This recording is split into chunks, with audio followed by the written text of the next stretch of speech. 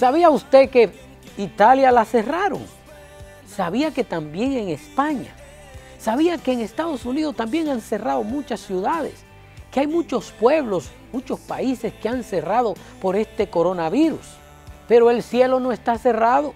Póngase en oración que las puertas del cielo siempre están disponibles para que usted ponga en las manos de Dios todas las dificultades para que Él, con la ayuda de Él y la ayuda suya, usted pueda convertir en oportunidad todas estas adversidades. Este es el momento.